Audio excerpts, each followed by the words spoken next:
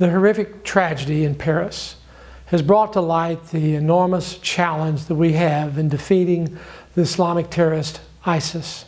ISIS has been able to expand dramatically as a result, frankly, of the president's precipitous withdrawal from Iraq, where they have been able to develop and build their caliphate, which is essentially a governing state, and be able to equip and train forces in that caliphate as well as into Syria. Thousands of individuals have gone to Syria to train, and many from Europe and some from the United States. Those trained uh, warriors now have come, many of them, uh, through the refugees back in uh, to Europe. They have already identified at least one of these refugees uh, who is a Syrian fighter in ISIS. So we are wary now of the President's plan to bring uh, 10,000 refugees to our shores, into our country, unvetted, uh, unrestricted. The Congress is going to step in. I am participating as a sponsor of a major bill with Chairman McCaul, head of Homeland Security, that would put restrictions on those who could come into our country.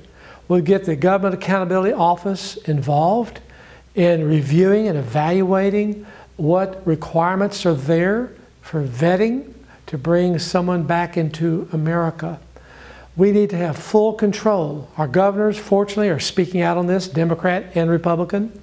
I have signed a letter to support Governor McCrory with the rest of my Republican colleagues in North Carolina to ensure that no one comes into our state without a full vetting process to know exactly who they are.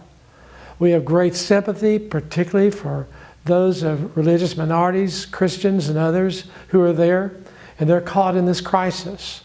But we want to be able to try to identify some of these people with their, with their family members back here in the United States. This will take time, but we need to do this because we cannot allow those to come in our country under the auspices of being a refugee and really they're a terrorist fighter.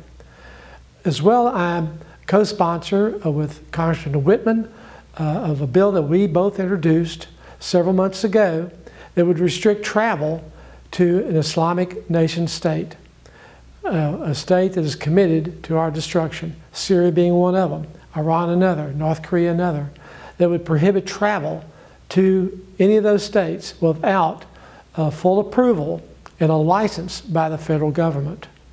This would allow people who are working with nonprofit humanitarian organizations to go. It would allow for family members to go visit, but it would require, again, a full vetting process for those who want to leave this country and want to go to Syria. These are all major concerns. Uh, we have in our country today uh, sleeper cells of individuals, and they're in every state. It's a huge challenge for our FBI to track these individuals, as well as those who have been trained in Syria, Europeans and Americans who have passports who can come back into our country. So we are committed uh, to make sure that we do everything possible to protect our homeland. They have already declared that Washington, particularly, is their next target.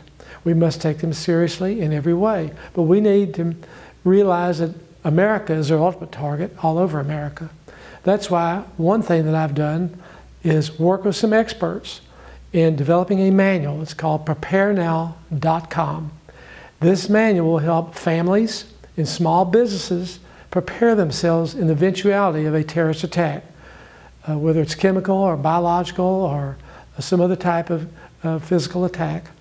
Uh, we need to be prepared. We need to know the kinds of things that we can have in our homes to make sure that uh, we have enough uh, capacities there to, to take care of our families.